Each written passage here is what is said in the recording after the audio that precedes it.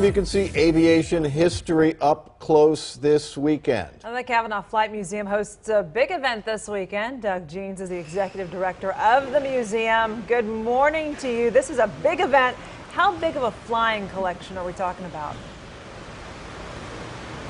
Well, overall, we have close to 70 airplanes. We have about 45 to 50 on view at any time. Uh, this weekend, we're going to focus on our Mustang, like you see behind me. Uh, it's a P-51 Mustang. It's one of the you know great fighters of World War II and, and kind of on everybody's bucket list for things to do.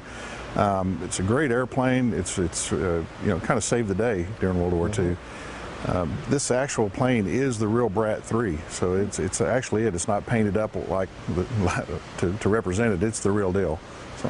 And, and the P-51 Mustang, a lot of So them, this- this- not all of them, a lot of them were made here in Texas during during the war.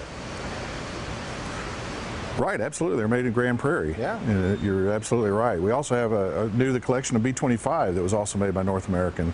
Uh, we just got it in a couple of weeks ago, and then this aircraft that he's showing now is our Skyraider. We got it Friday, so it'll be flying this weekend along with many other airplanes. Yeah, not only can you see the planes, but you can even fly in them. I hear there's some discounted rates. Oh yeah, we have uh, rides in many of our aircraft. We have a, you know, Bell 47 like from MASH. We have a Stearman open cockpit type uh, biplane. We have a T6 Texan and even the Brat 3, the Mustang. As well as uh we have the only Corsair, which if you remember from Baa Black Sheep, the bent wing bird, uh, that aircraft we can do rides in. So we'll be doing rides all weekend long and Evan's promis promising us good weather. So you know, we're good to go. And all of the aircraft there are, they, they don't all regularly fly, but uh, as I understand it, all of them are at least in flying condition.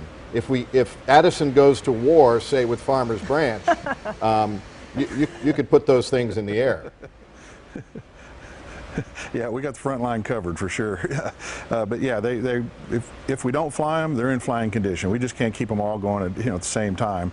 But uh, we keep anywhere, like say, from 20, 25 going at all times. We give rides and, you know, 14, 15 of them. And uh, it's just a, you know, it's a great place to come, a great place to see. That it Really, is, yes. So Warbirds over Addison's this weekend, again at the Cavanaugh Flight Museum.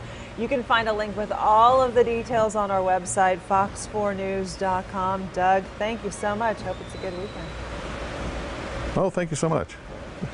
All right, hope to see you out here. More information on the web. Okay, it is 7:57 right now.